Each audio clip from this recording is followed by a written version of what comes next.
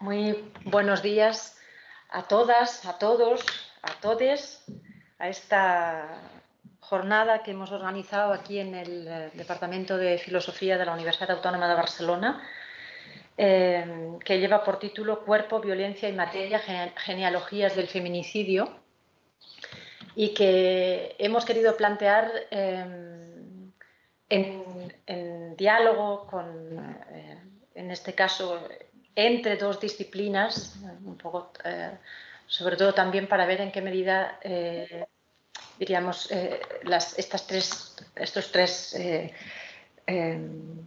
estas tres entidades, ¿no? diríamos, el cuerpo, la violencia y, la materia, pueden confluir en, un diálogo que permita precisamente ensanchar la dimensión, el contexto disciplinar ¿no? y ver cómo eh, se pueden trazar nuevas genealogías, otras genealogías para el feminicidio, eh, a partir precisamente de esas eh, situaciones otras, de esas posiciones otras, discursivas y materiales, porque los conceptos también comportan su materialidad, en, el caso de hoy, en la jornada de hoy, entre el derecho y la filosofía. Bueno, sin más preámbulos, solo quiero agradecer a, las compañeras y las colegas que han aceptado participar hoy de este diálogo interdisciplinar eh, y también a, las personas que han, aceptado, eh, se han interesado por, atender a este diálogo y por contribuir también a su manera.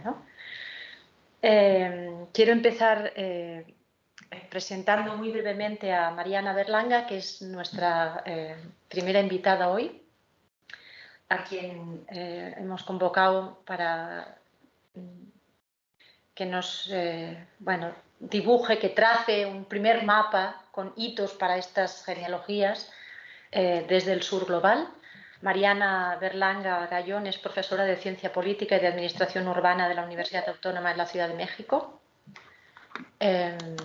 Es periodista y doctora en estudios latinoamericanos. Es especialista en feminicidio y violencia de género y actualmente se encuentra en Toulouse durante un tiempo haciendo una estancia de investigación para investigar justamente el tema de la violencia a través de la literatura. Mariana, tienes la palabra. Muchísimas gracias y con muchas ganas de escucharte. Adelante.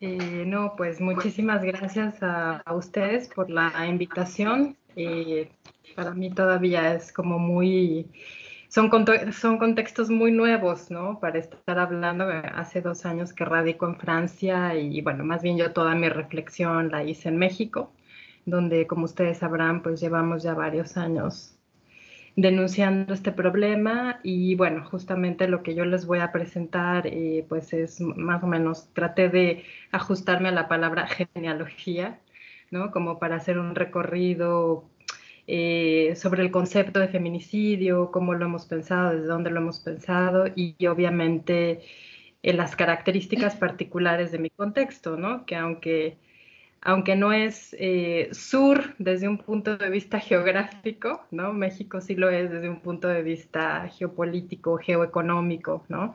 Eh, me ha llamado mucho la atención, por ejemplo, desde que, desde que vivo aquí en Francia, ¿no? Que todo el mundo me dice, ah, sí, México, Sudamérica, ¿no? Y nosotros en la escuela siempre estudiamos que México está en Norteamérica, ¿no? Porque claro, luego viene Guatemala y todo Centroamérica, pero bueno, es verdad que esta, esta idea del sur, ¿no? Como desde un punto de vista geopolítico y geoeconómico, bueno, pues es determinante, ¿no? Y me parece que efectivamente eso le imprime otras características al problema del feminicidio, por lo menos desde cómo lo hemos este, estado viviendo en México. Yo he intentado hacer un diálogo eh, porque soy latinoamericanista también, entonces con las compañeras latinoamericanas, sobre todo con las guatemaltecas, que es nuestro país vecino y bueno, pues hay varias coincidencias, ¿no? Hay varias coincidencias, pero también es verdad que cada país tiene su particularidad. Entonces, todo esto para introducir eh, lo que voy a presentar y para decir que evidentemente estoy hablando de un conocimiento situado, ¿no? Como dice Donna Haraway. Y, este, y bueno, y es desde, desde eh, México y desde lo que hemos analizado allá, desde donde más o menos eh, voy a presentarles. Entonces, bueno, como ustedes saben, eh, hablar de feminicidio es hablar de una realidad que se ha hecho evidente en los últimos años, pero no es una realidad nueva, no es un problema nuevo, ¿no? Por decirlo de alguna manera. Eh, hablamos de feminicidio para dar cuenta del asesinato de una mujer por el hecho de ser mujer o por razones de género, ¿no? Cosa que se puede problematizar muchísimo, ¿no? O sea, ¿qué, quiero, ¿qué quiere decir esto de se mata por el hecho de ser mujer? Y bueno, y me parece que justamente por eso, eh, para entender la pertinencia y el sentido político de esta palabra, de este vocablo, es preciso conocer su historia y bueno, también los debates que se han suscitado alrededor de él y que, que, es un debate que sigue abierto, ¿no? Que creo que eso también es, es muy importante, ¿no? Porque bueno, eh, al final eh, estamos frente a un fenómeno que estamos queriendo entender, pero bueno, yo después de 18 años de darle la vuelta, tengo todavía más preguntas que, respuestas, ¿no? Eh, y bueno, y para hablar concretamente del contexto mexicano, pues puedo decir básicamente que es preocupante en términos de la violencia que se ejerce contra las mujeres Hace más de 25 años que venimos denunciando el problema del feminicidio, es decir, el caso Juárez, que ha sido el más conocido, pues los primeros registros de asesinatos seriales de mujeres se dieron en el 93, pero fue a principios, a, finales de los 90, perdón, principios de los 2000, cuando realmente se comienza ¿no? a debatir y a difundir toda esta información ya a, escala, a una escala más nacional y, bueno, ya problematizar el problema también, de, el, fenómeno desde la academia, ¿no? bueno, a pesar de que llevamos más de 25 años denunciando eh, este, la persistencia del feminicidio, este sigue en aumento eh, año con año. Y aunque bueno, las cifras más tremendas se dieron en el primer semestre del 2020, ¿no? En donde se llevaron a cabo, se calcula que 13 asesinatos de mujeres al día y actualmente se calcula que aproximadamente 11 mujeres son asesinadas al día en México, según cifras oficiales, ¿no? O sea que estas siempre hay que ponerlas un poco en duda porque uno de los problemas precisamente que pues que ha conllevado el feminicidio ha sido, bueno, lo que en México hemos llamado la guerra de cifras, ¿no? Y es que, bueno, cada institución da sus propias cifras, las cifras de las asociaciones civiles no coinciden con las oficiales, ha habido una permanente minimización de parte de las autoridades desde un inicio, ¿no? Como para tratar de negar esta realidad que, que bueno, que cada vez es más tangible, ¿no? Eh, por otro lado, pues cabe mencionar que la violencia feminicida en México se ejerce cotidianamente al interior de los hogares, pero también se ha convertido en una de las prácticas de los grupos del crimen organizado, ¿no? Cosa que le ha dado como otra dimensión. Y bueno, llama la atención que a pesar de la, ¿no? Por ejemplo, de la presencia del COVID, de todo este contexto de la pandemia y del prolongado confinamiento, ¿no? Eh, pues la violencia contra las mujeres ha sido un aumento. También es importante decir que a pesar de haber tenido un cambio de gobierno, ¿no? que en su momento consideramos muy favorable porque significó la primera elección democrática en México desde hace muchísimos años, ¿no? la primera del siglo básicamente, pues eh, el problema ha persistido. ¿no? Este, y bueno, incluso las, los enfrentamientos, podemos decir, verbales entre eh, el gobierno federal y, las, y el movimiento feminista que ha seguido denunciando esta práctica ¿no? en las calles. Eh, y bueno, y a continuación eh, justamente haré un recorrido histórico para entender el origen y el significado de la palabra. Y también me voy a detener un poco para reflexionar sobre las particularidades del problema en México y su dimensión espectacular, ¿no? que le podríamos llamar así, y por último, pues eh, ya lanzaré algunas claves ¿no? para pensar sobre los desafíos que, que, enfrenta el uso y la expansión de esta palabra. Y bueno, por supuesto, eh, pues para lo cual eh, quisiera, ¿no? Después dialogar con ustedes, porque bueno, pues como les decía, no está, no está cerrado para nada ese debate, ¿no? Entonces, bueno, hablando del primer registro del término, pues este data del siglo XIX, eh, ¿no? viene de la obra del inglés John Corey, digamos que es el mundo anglosajón el que lanza por primera vez la palabra y en su obra titulada A Satirical View of London in the 19th Century, eh, John Corey utilizó este término para referirse al asesinato de una mujer. ¿no? Pero bueno, el antecedente más conocido es el de Jill Bradford y Diana Russell, quienes definieron este concepto en 1992 en su libro Femicide, The Politics of Woman Killing, ¿no? Ya desde los años 70 ellos, ellas venían eh, elaborando, ¿no? Esta, este concepto para entonces, eh, eh, y bueno, en ese sentido se puede decir que ellas son las pioneras del término, en México y en América Latina hemos retomado, digamos, esa base que ellas plantean para hablar de feminicidio o femicidio, que después entraré más en, esas, eh, en ese debate, ¿no? Eh, y bueno, es justamente en 1976 en el Tribunal Internacional de Crímenes contra Mujeres en Bruselas, Bélgica, ¿no? cuando lanzan este vocablo eh, justamente para hablar de la práctica del asesinato de, de mujeres. Y bueno, eh, sin embargo, es esta definición de 1992, ¿no? la que queda sentada como tal, ¿no? en donde se entiende lo que ellas llaman femicide, como el asesinato de mujeres realizado por hombres, motivado por odio, desprecio, placer o un sentido de propiedad de las mujeres. ¿no? Y bueno, y para resumirlo, ellas hablan del feminicidio como el asesinato misógino de mujeres por hombres. Eh, eso, bueno, más o menos ha continuado, eh, digamos, sobre la base de lo que entendemos por eh, femicidio, feminicidio, aunque obviamente se ha complejizado. Y bueno, y es importante señalar que la reflexión que conlleva el uso de este término tiene que ver con la hipótesis de que el asesinato de mujeres se lleva a cabo para controlarlas en tanto clase sexual, ¿no? O sea, creo que esta idea del control eh, es súper importante, ¿no? Eh, yo en el caso de, México, ya después, este, ¿no? Este, voy a, explicar mejor por qué, pero considero que incluso es una, es una forma de control sobre la población en general, ¿no? O sea, no solamente sobre las mujeres. Y bueno, y en ese sentido tendría como finalidad refrendar el status quo patriarcal, eh, desde esta misma lógica, a las mujeres se les advierte constantemente de no vivir solas, de no salir de noche solas y de no pasar por ciertos puntos de la ciudad considerados peligrosos. Según Russell y Radford, se trata de una política de control que les pone límites a las mujeres y establece la forma en que éstas deben comportarse en público. Es una forma de dejar claro que el espacio público que el espacio público es masculino y que la presencia de mujeres está condicionada y restringida.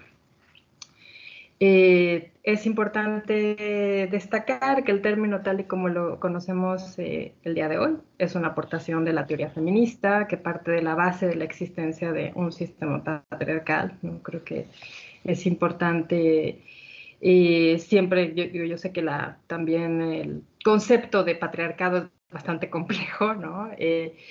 Y se trata de un término muy amplio que habría que también que contextualizar según cada país, según cada ciudad, según, cada contexto local, pero sin embargo es un concepto que da cuenta de, bueno, que devela toda una serie de valores y de códigos culturales que incitan de manera directa e indirecta a la violencia, ¿no? Y que, bueno, obviamente va mucho más allá, o sea, estos códigos van mucho más allá de, de México, de América Latina, este, bueno, nos podemos, eh, eh, digamos, eh, yo en, particular los he podido ver aquí muy fuertemente en Francia, ¿no? En donde yo, por ejemplo, creía que, que la violencia contra las mujeres estaba muchísimo más controlada, resuelta, o no sé cómo decirlo, ¿no?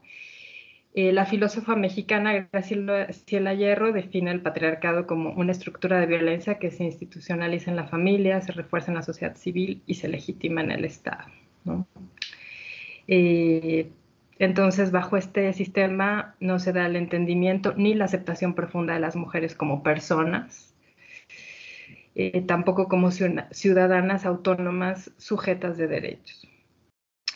El discurso patriarcal encarnado en los gobernantes, los directores de instituciones educativas, los padres de familia, etcétera, insiste en que es en sus casas donde las mujeres pueden estar seguras. Pero las estadísticas en México y en otras partes del mundo muestran que es precisamente en su propio hogar en donde corren mayor peligro en México, por ejemplo, según los datos del Secretariado Ejecutivo del Sistema Nacional de Seguridad Pública, eh, se ha identificado que el 87.60% de los agresores fueron esposos, novios, exparejas, ¿no? 12% de ellos tenían vínculos militares o políticos, pero bueno, sobre todo es en el ámbito ¿no? de lo que llamamos del espacio íntimo, ¿no? en donde se suscita esta violencia, a pesar de que, como ya mencionaba, eh, bueno, en el caso de México, el crimen organizado ha, este, hecho todo un, despliegue de demostración de fuerza masculina en este sentido, pero digamos que en las estadísticas siguen siendo eh, los novios, los esposos, las exparejas, ¿no? este, quienes eh, más inciden en este tipo de crimen. Y es importante tener en cuenta que la definición dada por Radford y Russell se asume como eh, parte del bagaje teórico feminista, como les decía, ¿no? Porque el feminicidio es, según ellas, el extremo de un continuo de terror antifemenino que incluye una gran cantidad de formas de abuso verbal y físico, como violación, tortura, esclavitud sexual, particularmente en la prostitución, incesto y abuso sexual infantil extrafamiliar, maltrato físico y emocional, hostigamiento sexual, mutilación genital, operaciones ginecológicas innecesarias, heterosexualidad forzada, esterilización forzada, maternidad forzada, psicocirugía, negación de asesinatos de las mujeres en algunas culturas, eh, cirugía cosmética y otras mutilaciones en nombre de la belleza, o sea, en fin, o sea, hay toda una serie de gradaciones, ¿no? Por decirlo de alguna manera,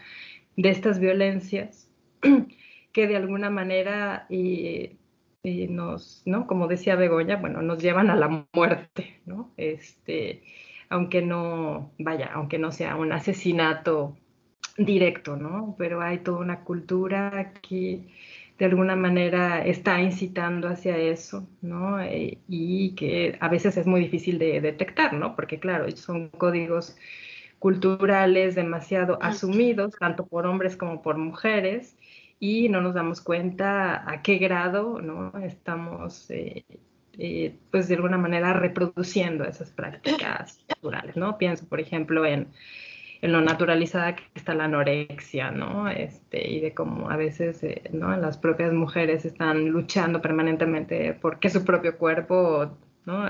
sea prácticamente eh, un cuerpo eh, imperceptible, ¿no? O sea, es la, desaparición de la materia, ¿no? Justamente.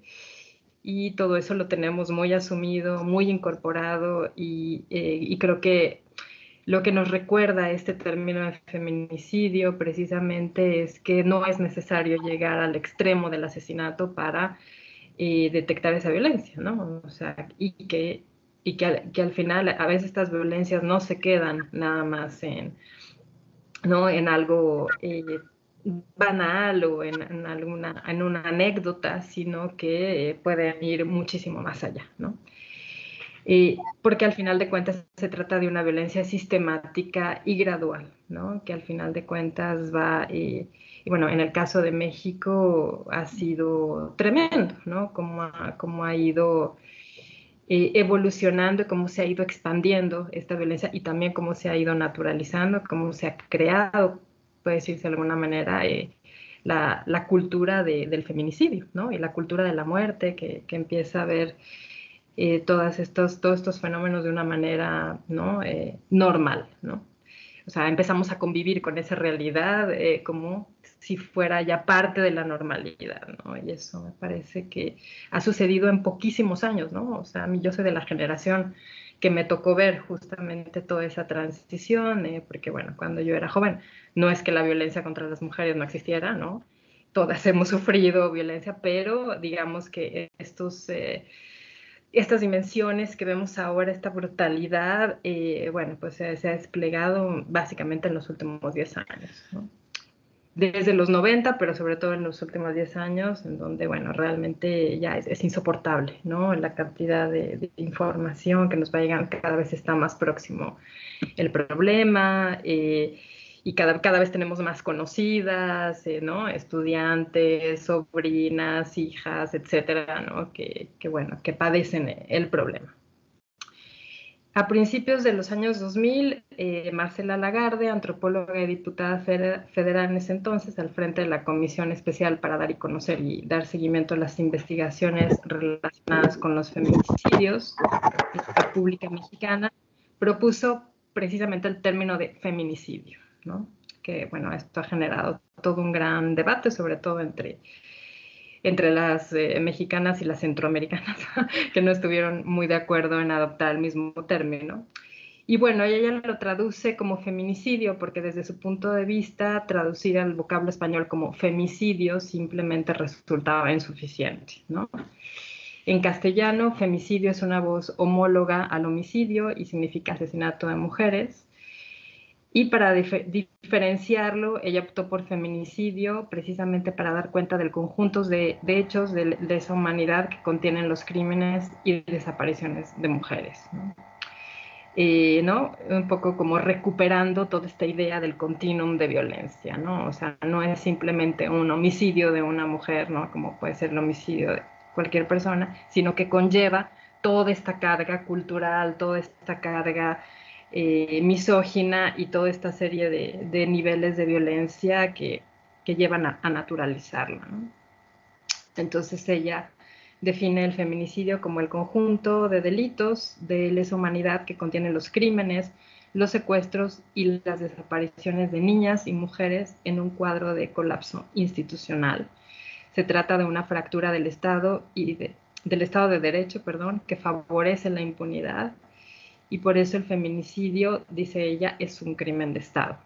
El feminicidio sucede cuando las condiciones históricas generan prácticas sociales agresivas y hostiles que atentan contra la integridad, el desarrollo, la salud, las libertades y la vida de las mujeres, ¿no? Y bueno, y esto a lo mejor sí es una, digamos, es una aportación bastante local, ¿no? Porque lo que hemos visto en México es precisamente esa fractura de, de las instituciones, ¿no? Esa, eh, ¿cómo se puede decir?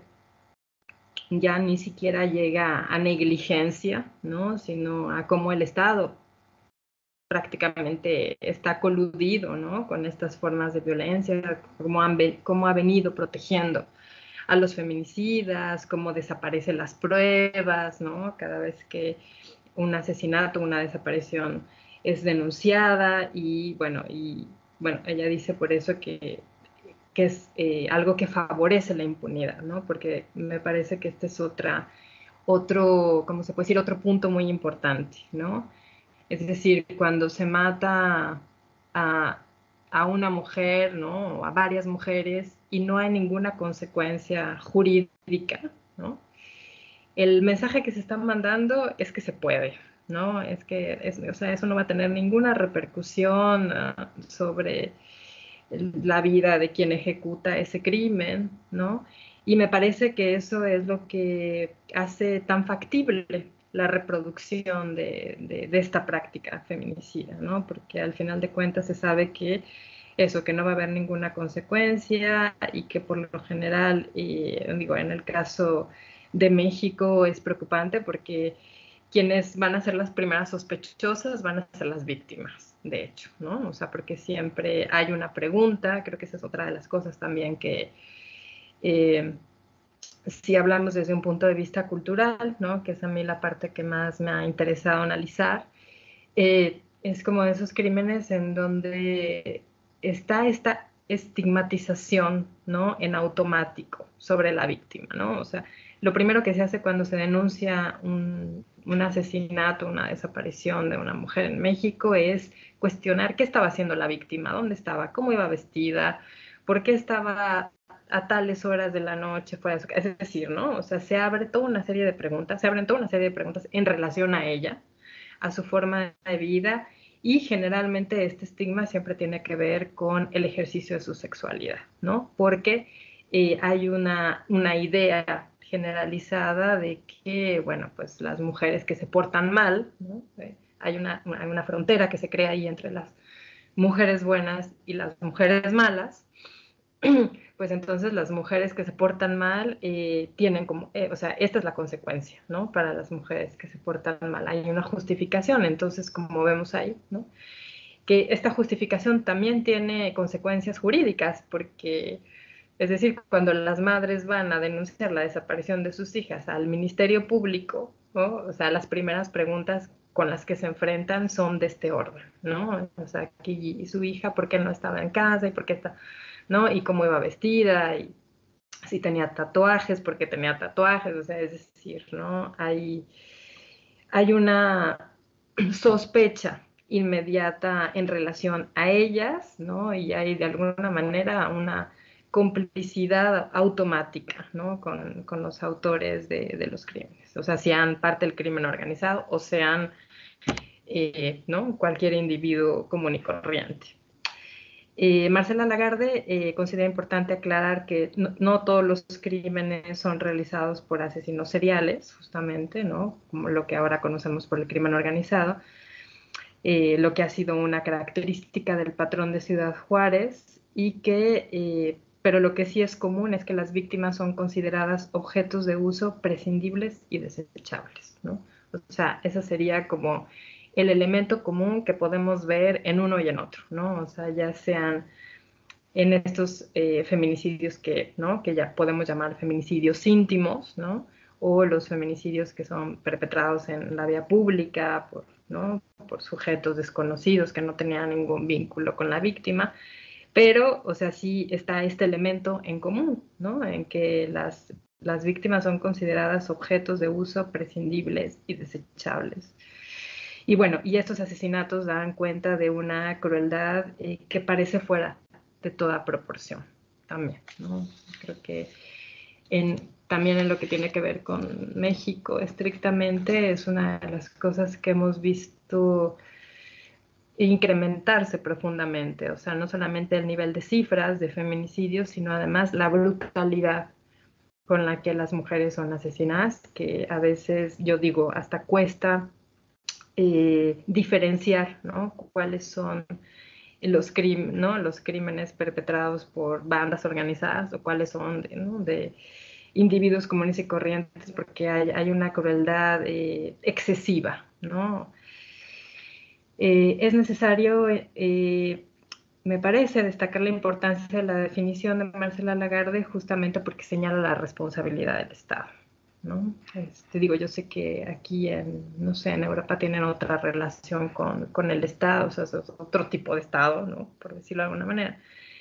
Pero, eh, bueno, sí hay una responsabilidad, ¿no? En, el caso de México, esta responsabilidad no se ha asumido, evidentemente, ¿no? Y por eso es que hablamos de que el feminicidio es un crimen de Estado, ¿no? Eh, porque eh, de, esta manera se pueden entender mejor sus causas, su reproducción y su expansión ¿no? en las últimas décadas. A pesar de que el Estado se ha modificado drásticamente a partir de la entrada en vigor del neoliberalismo en América Latina, sobre todo de los años 90 a la fecha, este sigue siendo el organizador de la vida social y política, ¿no? Y entonces, en ese sentido, pues la definición de Lagarde nos hace ver esa dimensión política del problema, ¿no? O sea, los asesinatos de mujeres no solo no son casuales, sino que tampoco corresponden meramente al ámbito privado, ¿no? Porque muchas veces eso es lo que, bueno, ese es el discurso del Estado, ¿no?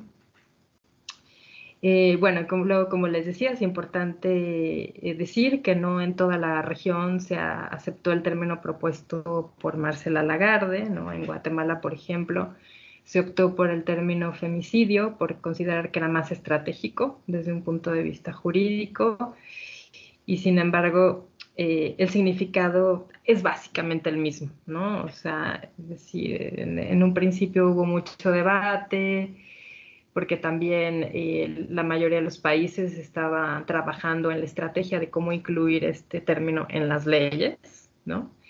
Y ahora pues ya son varios países que han incorporado eh, el término feminicidio en la ley, cosa que no ha cambiado mucho la, la realidad, ¿no? Ni, ha mejorado mucho el problema.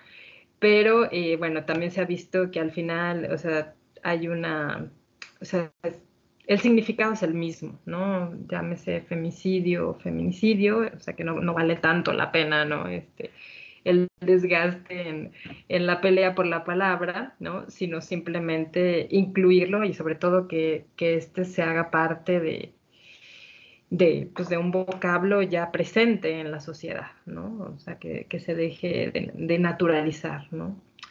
Porque también eh, creo que pues últimamente hemos visto como en el pasado estos crímenes estaban muy normalizados, ¿no? Por ejemplo, en, en la prensa amarilla, bueno, lo que llamamos la, la, prensa amarillista o no sé cómo le llaman ustedes, este, sensacionalista, ¿no?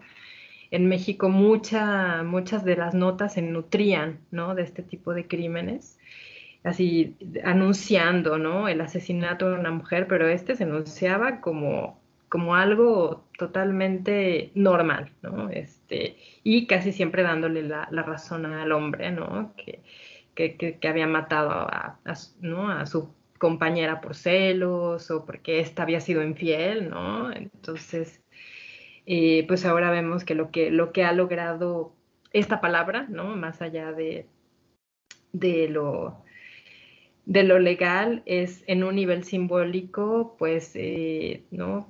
saber que, que, se trata de una violencia eh, terrible y que, y, que, y que, deje de verse normal, ¿no?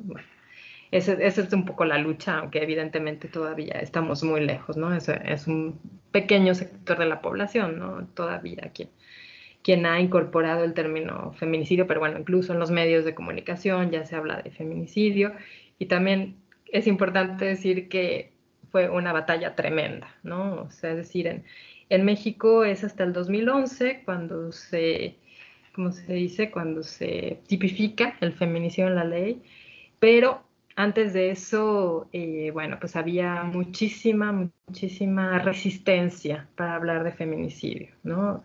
Eh, tanto de parte del gobierno, ¿no? Que decía que no, que, o sea, que eso no era un problema, que se estaba exagerando, etcétera, etcétera, pero también de parte de la sociedad, ¿no? Que ¿no? Todavía creo que nos siguen cuestionando por qué hablamos de feminicidios y, bueno, si en México matan a toda la gente, por ejemplo, ¿no? O a tanta gente o a varios tipos de personas. Y bueno, lo que queremos señalar justamente cuando hablamos de feminicidio es esta lógica eh, cultural que, que, hemos venido describiendo y que, y no, es, un ajuste de cuentas, no, o sea, son asesinatos por robo, no, no, como los, sino que tienen que ver precisamente con, pues estas relaciones de poder ¿no? entre los géneros.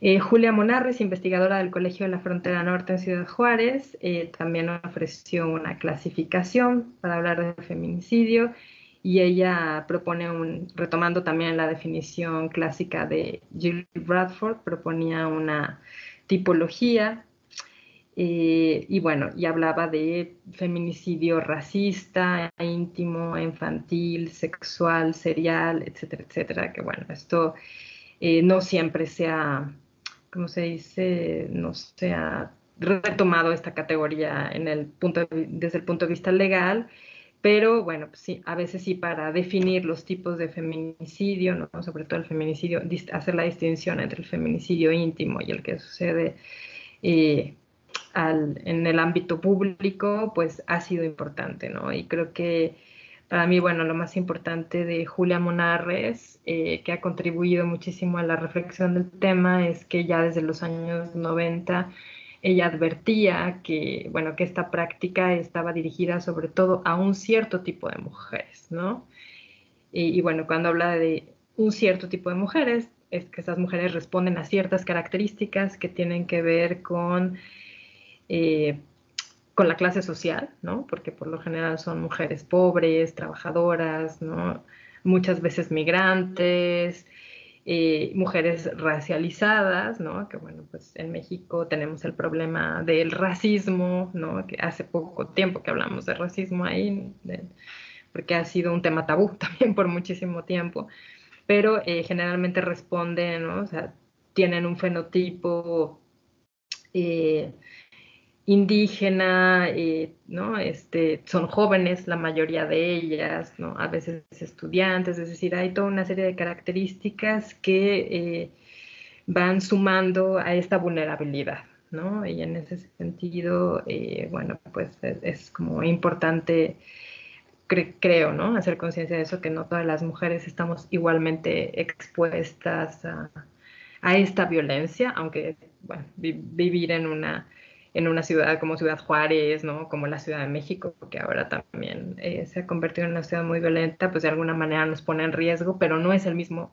el tipo de riesgo, ¿no? O sea, que se tiene en un barrio de la periferia de la Ciudad de México, por ejemplo, que en el centro de la ciudad, ¿no? O que en espacios aunque también hemos tenido ya feminicidios en la UNAM, en espacios universitarios, o sea, es decir, lo que hemos visto en México es que eh, nos, nos, ha estado cercando el problema, ¿no? Cuando yo empecé a estudiar el tema, estaba muy localizado en Ciudad Juárez y, este, y poco a poco empecé a sentir que, ¿no? O sea, que el problema se acercaba, se acercaba, ¿no? En la universidad donde yo trabajo ya tenemos a cinco estudiantes víctimas de feminicidio, ¿no? O sea, bueno, que no fueron al interior del plantel, ¿no? Pero bueno, cinco de nuestras estudiantes han sido asesinadas.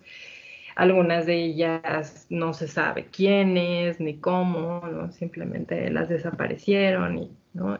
algunos de ellos, algunas de ellas, sus madres ni siquiera, este, ni siquiera están tan seguras de que los cuerpos que les devolvieron son de sus hijas. Bueno, una cosa tremenda, ¿no? En términos de, de la procuración de justicia, ¿no? O sea, que, es decir, que eso se ha ido agravando eh, con el, ¿cómo se puede decir? Eh, con el tiempo.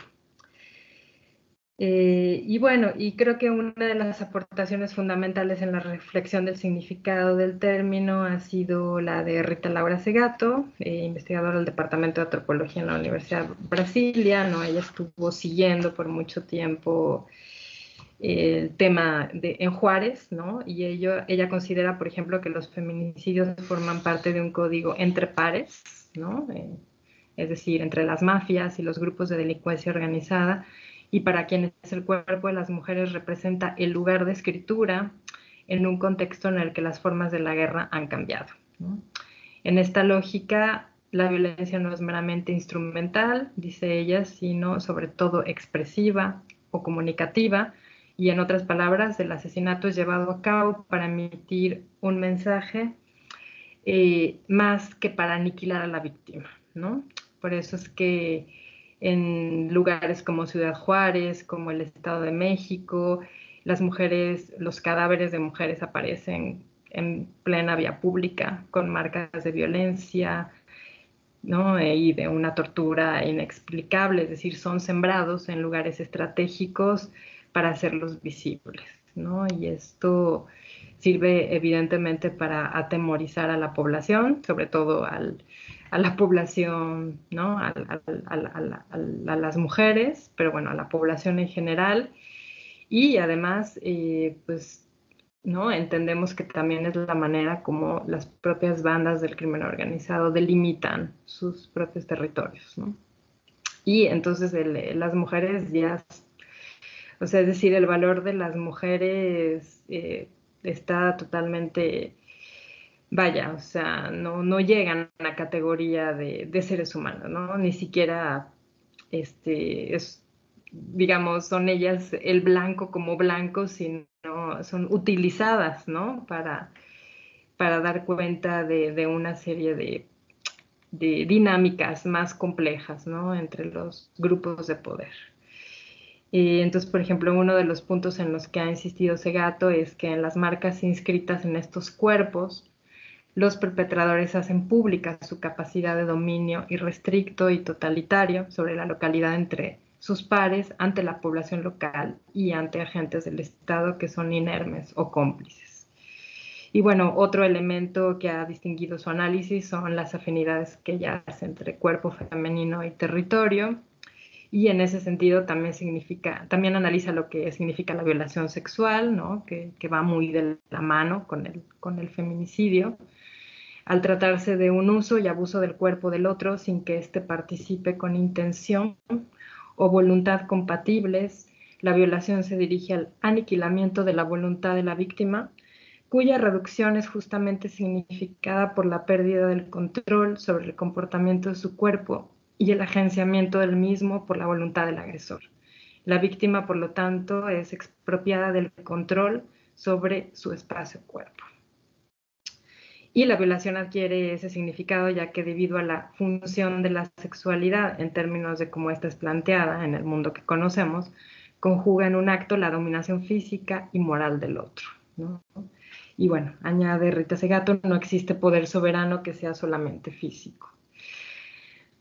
Entonces, bueno, en ese sentido, eh, vemos, eh, eh, es por esa razón que es una guerra que o sea, que, resulta en exterminio, o sea, es decir, que el exterminio no constituye una victoria, porque solamente el poder de la colonización permite la exhibición del poder de muerte entre los destinados a pertenecer vivos.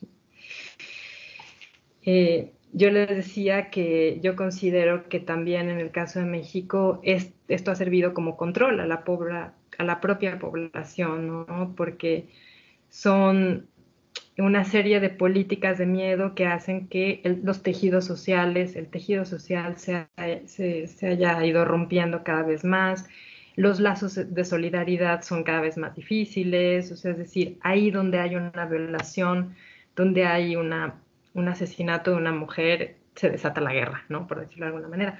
Hay una desconfianza permanente, nunca nadie sabe nada, quién fue, ¿no? Pudo haber sido el vecino de, ¿no? de enfrente o pudo haber sido ¿no? el crimen organizado está compuesto también por elementos de la población, ¿no? O sea, es decir, no, no, hay una separación tal entre la población y el crimen organizado, sobre todo ahora que, bueno, en México, por ejemplo, varios de los, muchísimo, un gran porcentaje de los jóvenes o de la juventud eh, no tiene otras opciones de supervivencia, ¿no? Más que la incorporación al crimen organizado. Entonces, bueno, hay ahí toda una serie de dinámicas sociales perturbadas, ¿no? Con este tipo de prácticas y bueno, y que hacen que, la gente no proteste, ¿no? O sea, que, es decir, que sea cada vez más difícil.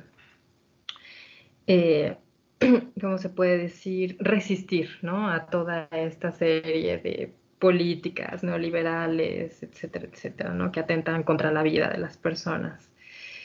Eh, entonces, bueno, y creo que una de las cosas que ha sido muy características ¿no? del feminicidio en el contexto mexicano actual ha sido precisamente esta espectacularización, ¿no? O sea, es decir, como eh, estos, uh, ¿cómo se puede decir? Pues estas formas de violencia sí que no las conocíamos antes, ¿no? O sea, ya en los 90 veíamos este patrón en Juárez, ¿no? Estos cadáveres sembrados, ¿no? Pero bueno, esto también ha ido, se ha ido expandiendo a otras zonas de México y yo diría también a otras, ¿no? A otros eh, sectores de la población, porque esta espectacularidad, ¿no? Pues, por ejemplo, a partir del 2007, cuando se declaró la, llamada guerra contra las drogas en México, bueno, se hizo muy generalizada, ¿no? Entonces, de repente se comenzaron a ver, ¿no? Personas colgadas en los puentes, ejecutados en, plena plaza, o sea, es decir, así como todo un, despliegue de, violencia y de sangre que, bueno, que justamente hace que, el contexto sea como un campo de guerra, ¿no? O sea, el problema es que, ¿no? Son estas nuevas guerras, ¿no? Que, por ejemplo, Rita Segato llama de guerras informales, ¿no? En donde son guerras que no son declaradas que, y que es sobre todo la población civil eh, la que sufre las consecuencias. Es una guerra contra la población civil, ¿no? Por decirlo de alguna manera, ¿no? Eh, y entonces, bueno, eh, y por ejemplo, eh, el caso de Ciudad Juárez fue muy importante, ¿no? Porque también eh, pues fue el, o sea, dio el caso controvertido del campo algodonero, ¿no? En donde ocho cuerpos localizados fueron en el, en el año 2001 y a partir de este caso se hizo una denuncia ante, ante la Corte Interamericana de Derechos Humanos, ¿no? que, que en el 2009 declaró al Estado mexicano responsable de los crímenes por cuestiones de género, ¿no? Bueno, en ese momento se le llamó así, ¿no?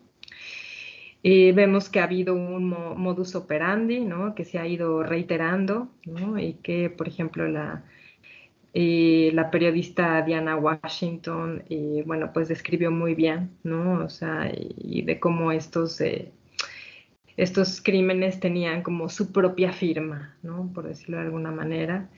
Y, y bueno, y estos cuerpos dan cuenta de una hazaña y de una violencia que como les decía, se reproduce también, ¿no?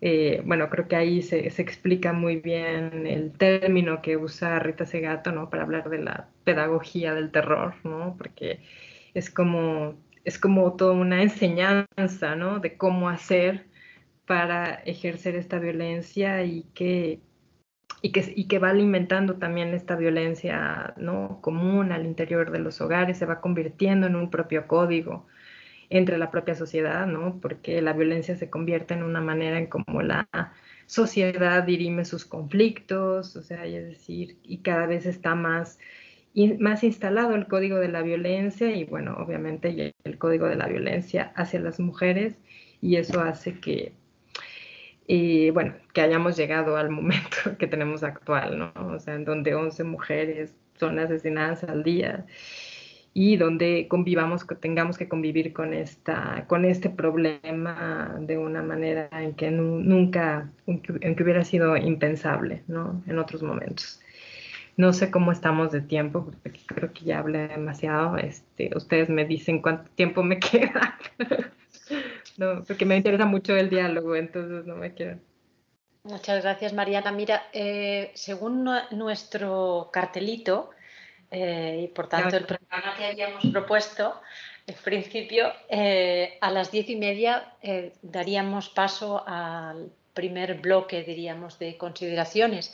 Así que, si te parece, estos diez minutos que quedan hasta entonces, a lo mejor los podríamos destinar a, hacerte preguntas, a pedirte alguna aclaración.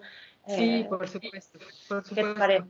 Abrimos un poco el diálogo estos diez minutos. Y ya nada más, la única última idea que quería soltar era que, eh, bueno, que justamente en este contexto de violencia tan generalizada, a veces lo que ha pasado es que el término de feminicidio se ha banalizado un poco, ¿no?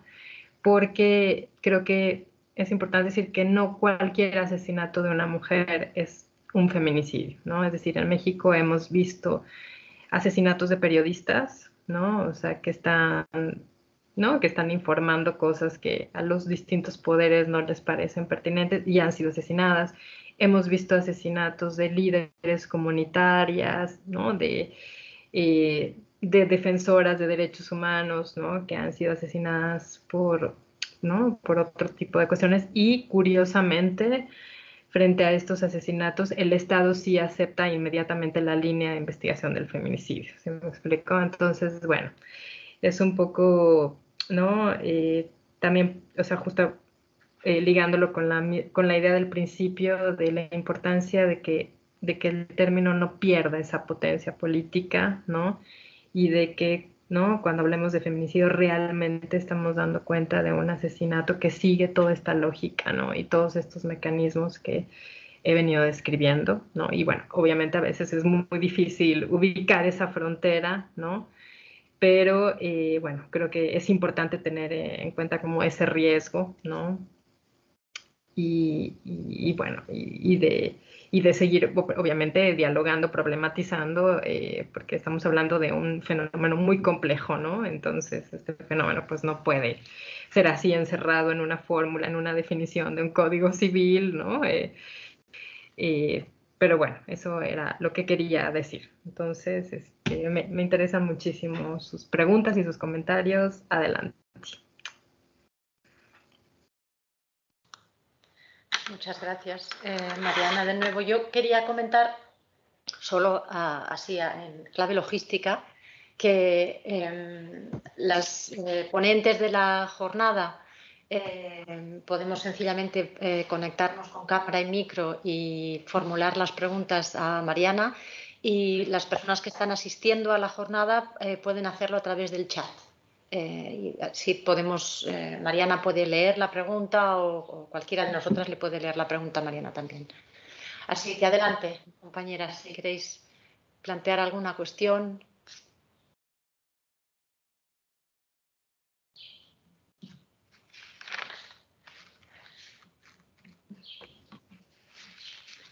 Mariana, yo quería quizás para romper el hielo mm, plantear una, una, eh, consideración mm, eh, que me parece que de alguna manera mm, eh, apunta algo a lo que has estado señalando tú a lo largo de toda tu, presentación y es el hecho de que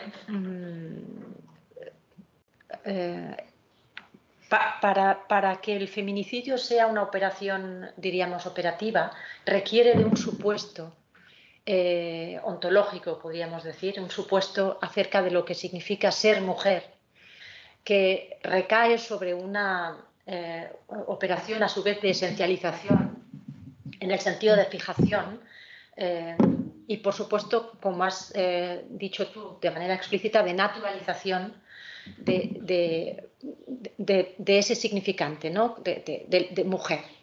Hay, una, la, operación que me interesa aquí es esta, la de, la de presuponer una naturaleza a ese ser mujer que de alguna manera es lo que eh, justifica esta especie de causalidad eh, eh, desde la, en la que se sostiene la violencia, ¿no? en la que se sostiene el feminicidio. Quería saber tu, opinión con respecto de esto, porque me parece que desde un punto de vista conceptual es, eh, bueno, es necesario tenerlo en cuenta. ¿no? Es como si se estableciese una relación de sinonimia entre ser mujer y ser asesinada o ser objeto de control, ser objeto de violencia, ser objeto de aniquilación, ser objeto de dominación. ¿no? lo cual, diríamos, sitúa la reflexión en un orden casi, casi de lo perverso, podríamos decir, ¿no? O sea, eh, aceptada esa, esa, presuposición, operativa esa presuposición, ¿qué cabe hacer entonces? Esa sería mi, primera cuestión, diríamos. Eh, ¿Respondo o espero otras preguntas? Respondo mejor para. Sí, sí, venga. Para no perder el...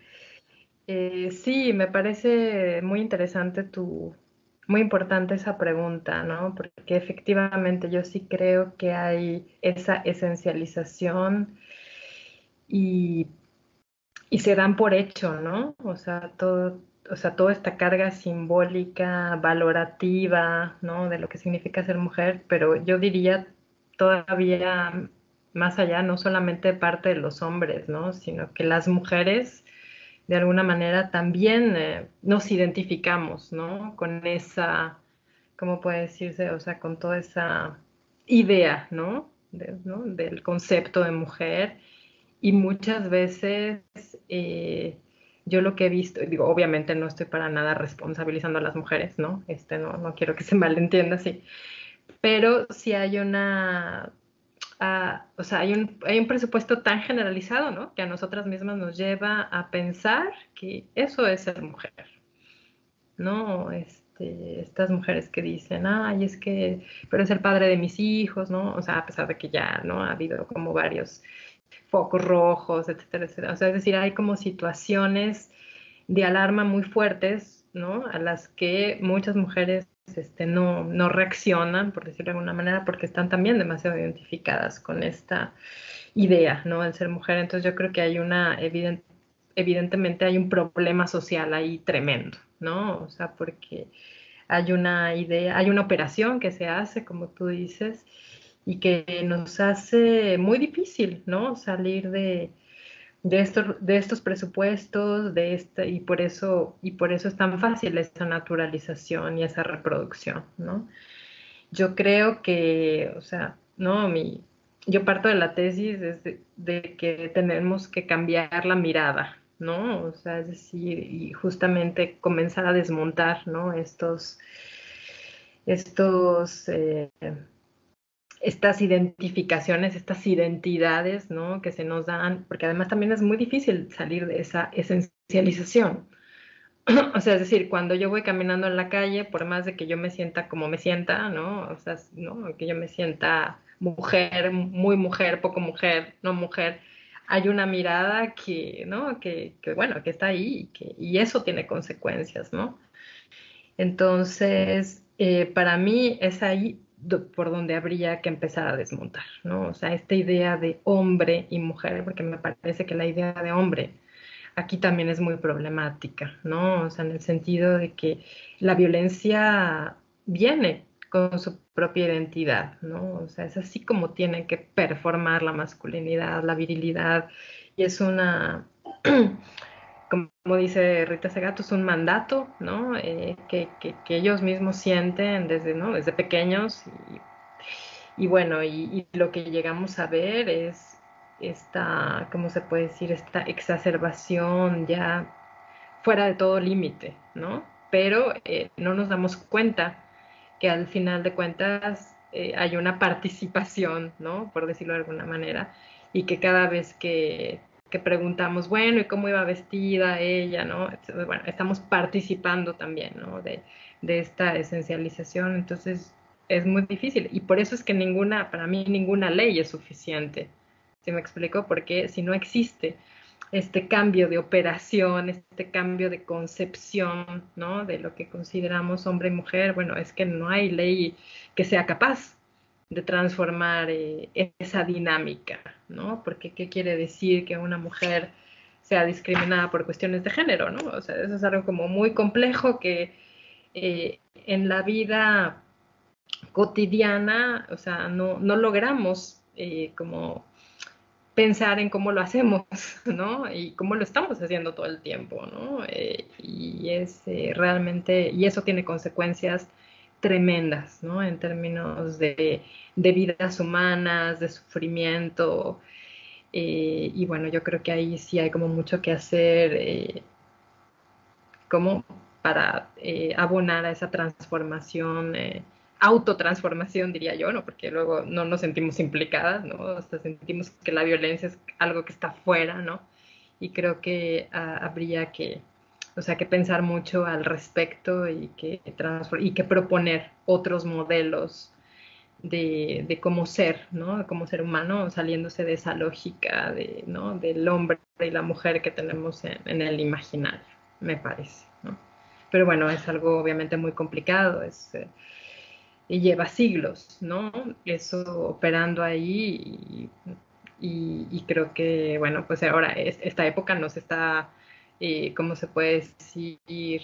Llamando a la urgencia de desmontar todo eso, diría yo, ¿no? Pero obviamente no, no es sencillo.